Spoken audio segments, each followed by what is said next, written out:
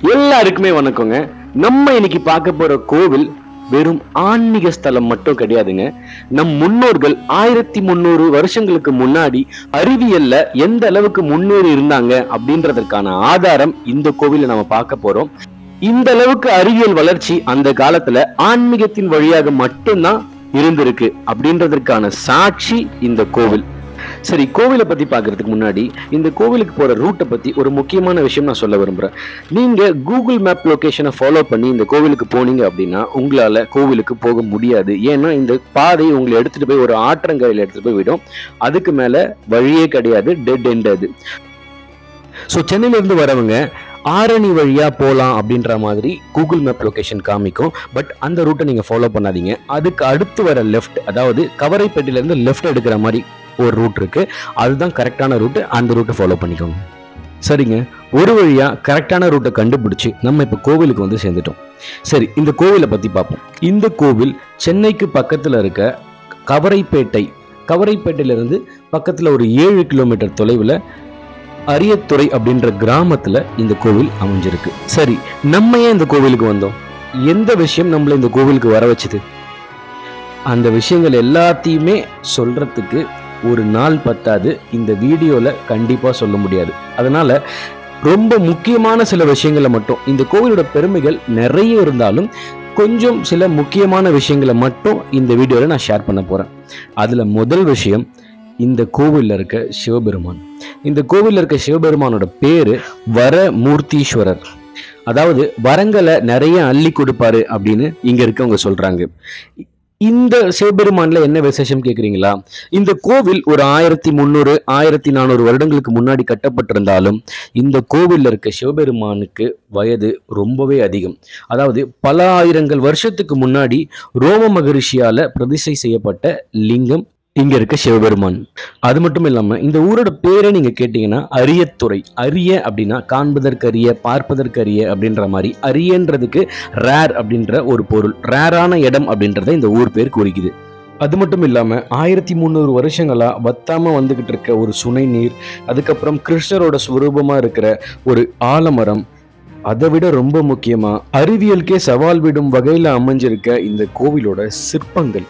இது எல்லாத்தையுமே ரொம்ப விரிவாக இந்த வீடியோவில் பார்ப்போம். ரொம்ப அழகான வீடியோ. இந்த வீடியோவில் காமிக்கிற எல்லாமே ரொம்ப ஆச்சரியப்படுத்தும். அதனால வீடியோ ஸ்கிப் பண்ணாமல் பாருங்க. இந்த ஊர் அரியத்துறை சுவாமி பேர் வரமூர்த்தீஸ்வரர் அம்பாள் மரகதவல்லி.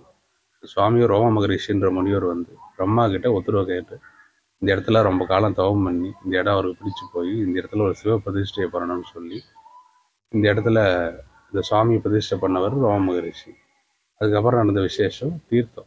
ஆத்தங்கரையில் ஒரு தீர்த்தம் இருக்கும். அது எதனால் விசேஷம்னா முகுந்த முனிவர் அப்படின்றவர் காசிக்கு ஒரு பிரியாணமாக போகும்பொழுது அவர் எல்லா சிவாலயமும் போகிற வழியில் தரிசனம் பண்ணிகிட்டே போகிறாரு அது போகும்போது இந்த சிவனை பார்க்கறதுக்கு இங்கே வராரு. இந்த சிவன் வந்து பிரம்மச்சாரி வேடமாக அவர் பார்க்குறாரு. அவர் பார்த்து என்ன எதுன்னு விசாரிக்கும் போது காசிக்கு போக வேண்டிய அவசியம் இல்லை. இந்த ஆறு வந்து பிரம்மாவில் உருவாக்கப்பட்ட ஆறு அதனால் இந்த ஆறில் குளிச்சுட்டு இந்த சாமியை பார்த்தார்.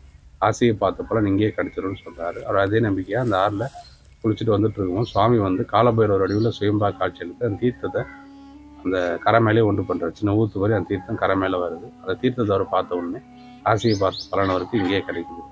ஆனால் நம்மளும் அந்த தீர்த்தத்தை பார்த்தோம்னா காசியை பார்த்த பலன் கிடைக்கும். அப்போ வந்த தீர்த்தம் இது வரைக்கும் வத்தினது கிடையாது. எவ்வளோ வெய்காலமாக இருந்தாலும் வத்தாது ஆழமும் இருக்காது. அதனால் அந்த தீர்த்த விசேஷம். அதனால் பித்ரு தோஷங்கள் நிவர்த்தி ஆகும் காசிக்கு நிகரான தீர்த்தம் இருக்குன்றதுனால.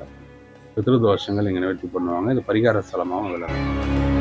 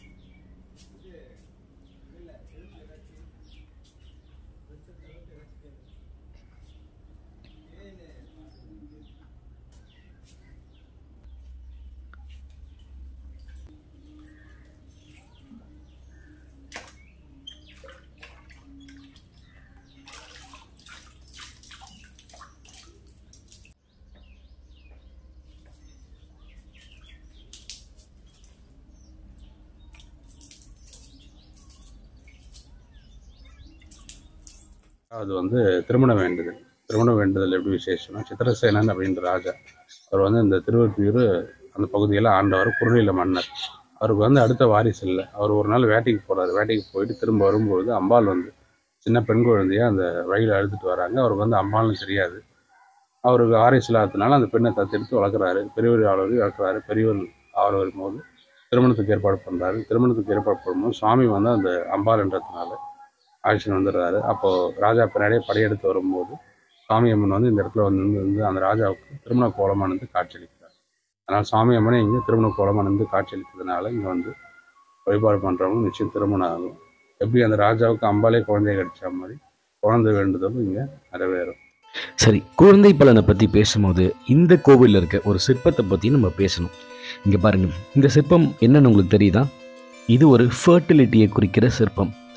அதாவது மனித உடல்ல எப்படி கரு உருவாதல் நடக்குது அப்படின்றத குறிக்கிற மாதிரி ஒரு சிற்பம் இங்கே இருக்குது அதாவது ஆயிரத்தி முந்நூறு வருஷத்துக்கு முன்னாடி எந்த ஒரு எக்யூப்மெண்ட்டுமே இல்லாமல் மனித உடலுக்குள்ள இந்த மாற்றங்கள் இந்த நிகழ்வுகள் எப்படி நடக்குதுன்றத ஒரு அறிவியல் கலந்து மத் மற்ற மக்களுக்கும் தெரியணும் அப்படின்றதுக்காக இந்த சிற்பத்தை இங்கே செதுக்கியிருக்காங்க இதுதான் நம் தமிழர்களோட பெருமை. இது நம் கலாச்சாரத்தோட பெருமை. இதை நம்ம யாருக்காகவும் எதுக்காகவும் விட்டு கொடுக்கக்கூடாது.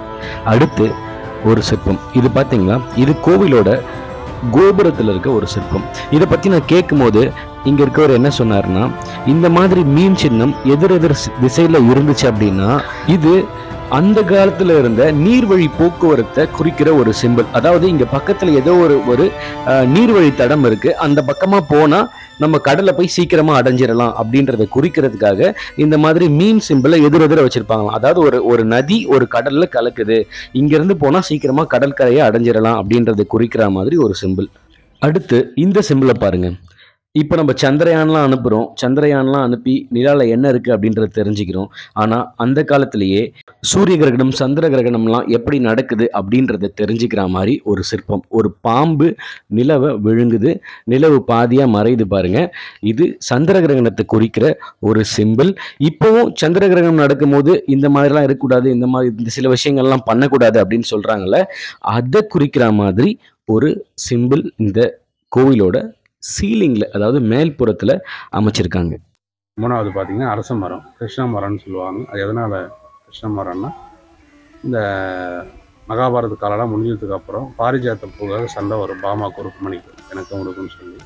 அப்படி சண்டை வரும்போது கிருஷ்ணர் வந்து என்ன பண்ணுறதுன்னு தெரியாமல் அந்த பாரிஜாத்த மரத்துக்கிட்ட நீ கொஞ்ச காலம் பாமா கட்டணும் கொஞ்ச காலம் ருக்மணிட்டு சொல்லுவார். அந்த மரத்துக்கு கோபம் வந்துடும் கோபம் வந்து என்னுடைய கஷ்டம் தெரியாமல் நீ சொல்லிடுற. உன்னுடைய காலம் அப்படியே முடியாமல் நீ கொஞ்ச காலம் அரச மரமாக இருந்துட்டு அப்புறம் உன்னுடைய காலம் முடிட்டோன்னு சொல்லி சாபம் விட்டுரும் அந்த சாபத்தை எங்கே நிவர்த்தி பண்ணணும்? பிரம்மா அடையணும் பிரம்மா அரியத்துறன்னு இந்த இடத்துல சொல்லி. இந்த இடத்துல கிருஷ்ணரே ஆயிரம் ஆண்டு காலம் அரச மரமாக இருந்ததாக வரலாறு. நாலாவது பிரதோஷம். ஒரு குரங்கு வந்து ஒரு வே- ஒரு வேடம் துரத்துறான் அப்படி துரத்தும் பொழுது அந்த குரங்கு என்ன பண்ணிடுது? அந்த ரொம்ப தூரத்துல ஓடி வருது. ஓடி வர வேகத்தில் அந்த தீர்த்தத்தில் விழுந்துருது. தீர்த்தத்தில் விழுந்துட்டு இந்த அரச மரத்தை ஒரு பிரதர்ஷனம் பண்ணிட்டு இந்த பிரதோஷ காலத்தில் சாயரிச்ச வேலையில் பிரதோஷ பூஜைகளையெல்லாம் தரிசனம் பண்ணிட்டு அது உடம்பு முடியாமல் ஆரோக்கியம் குறைபாடு காரணத்தினால சாமி முன்னாடி வந்து கையெடுத்து நமஸ்காரம் பண்ணி முத்தி ஆகிடுது உயிர் விட்டுருது சுவாமி வந்து இந்த குரங்கிட்ட ஒன்று அறியாமலே இவ்வளோ விசேஷமாக நான் தரிசனம் பண்ணிட்டேன். அதனால் மறு ஜென்மத்தில் காஞ்சிபுரத்தில் சோழன் ஒரு ராஜாவாக பிறப்புன்னு சொல்லி அந்த குரங்கு சுவாமி வரம் கொடுத்தாரு. இத்தனை வரங்கள் இங்கே கொடுத்ததுனால சுவாமிக்கு வரமூர்த்தி ஈஸ்வரர் அப்படின்னு பேர். இந்த தீர்த்தம் வரும்போது அந்த நிகழ்ச்சியை பார்த்த ரோவா மகரிஷி முகுந்தன் பொருட்டு கங்கை வந்த அரியத்துறைன்னு சொல்லி இந்த இடத்துக்கு அரியத்துறை அப்படின்னு பேர் சொல்கிறார் இந்த வரலாறு நம்மளாம் சொல்லிட முடியாது. கோவை கல்யாண சுந்தரம்னு ஒரு தமிழ் இசைமாரி அவர் மதுரையை சேர்ந்தவர். அவர் தான் இந்த வரலாறு எழுதி வச்சிருக்காரு. நாங்கள் வந்து ஒரு வழி வழியாக சொல்லிட்டு வரோம். பொதுவாக இங்கே வந்தால் இது புத்திர தோஷங்கள் நிவர்த்தி ஆகும் இந்த அஷ்டமி விசேஷம் பைரவர் வைம்ப பைரவர்ன்றதுனால அஷ்டமி விசேஷம். திருமண வேண்டுதல் விசேஷம் குழந்தை வேண்டுதல் விசேஷம். இங்கே பார்க்க வேண்டியது பார்த்திங்கன்னா ஆரம்பத்தில் தீர்த்தம் பார்க்கணும். தீர்த்தம் அந்த காசிக்கு நிகரான தீர்த்தம்ன்றதுனால முதல்ல வரும்போது தீர்த்தத்தை தரிசனம் பண்ணிட்டு அதுக்கப்புறம் அந்த ரிஷி பார்த்துட்டு அரச மரத்தை பார்த்துட்டு உள்ளே வந்தீங்கன்னா பிரதர்ஷனமாக வந்தீங்கன்னா உள்ள சுவ சுயம்பு பைரவர் இருப்பார். சுயம்பு பைரவர் பார்த்துட்டு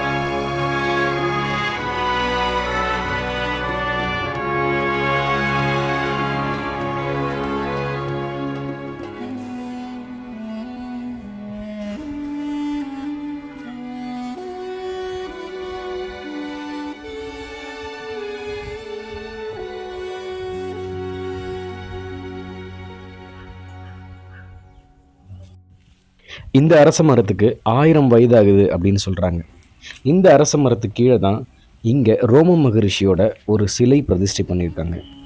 இங்கே பாருங்கள் எவ்வளோ ஒரு அழகான சிலை.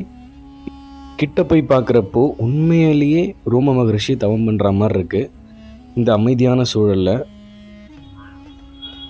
நீங்கள் இங்கே வரும்போது கண்டிப்பாக இதை மிஸ் பண்ணிடாதீங்க. இது கோவிலுக்கு அப்படியே லெஃப்ட் சைடில் தனியாக இருக்கும். மிஸ் பண்ணிடாதீங்க. சரிங்க. நம்ம இந்த வீடியோவோட கடைசி பகுதிக்கு வந்துட்டோம். கடைசியாக நாங்கள் வெளியே வரும்போது இந்த குளத்தை பார்த்துட்டு இந்த குளத்தில் நிறைய மீன்கள் இருக்குது அதை பார்த்துக்கிட்டே கொஞ்ச நேரம் அங்கே டைம் ஸ்பெண்ட் பண்ணோம். ரொம்ப அழகான குளம். இந்த மீன்களை பார்த்துக்கிட்டே இருக்கிறது ஒரு நல்ல ஸ்ட்ரெஸ் பஸ்டர் சரி இந்த வீடியோட முடிவில் நான் உங்ககிட்ட சில கொஸ்டின்ஸ் கேட்க விரும்புகிறேன் ஆயிரத்தி முந்நூறு வருஷத்துக்கு முன்னாடி மைக்ரோஸ்கோப் இல்லாமல் அவ்வளோ டெக்னாலஜி இல்லாமல் மனித உடலில் நடக்கிற கருவுருவாதலை எப்படி அப்போ வாழ்ந்த தமிழர்கள் கண்டுபிடிச்சாங்க? அதை கண்டுபிடிச்சி அப்படியே விடாமல் அதோட எக்ஸாக்ட் ஃபிகரை அப்படியே கல்வெட்டில் செதுக்கி வச்சுருக்காங்க. கோவில்கள் மூட நம்பிக்கையின் கூடாரம் கடவுளை வணங்குபவன் முட்டாள் அப்படிலாம் சொல்கிறவங்க ஃப்யூச்சரில் இருப்பாங்க. நம்ம முட்டாள்கள் இல்லை நம் விஞ்ஞானத்தில் ரொம்ப கை தேர்ந்தவர்கள் அப்படின்னு காமிக்கிறதுக்காக இதை கோவிலில் சுவர்களில் செதுக்கி வச்சுருப்பாங்களா? நீங்கள் இதுக்கு பதில் சொல்லுங்கள் கமெண்ட் பாக்ஸில் வாங்க பேசலாம். தொடர்ந்து தேடுவோம் தெளிவோம். நன்றி வணக்கம்.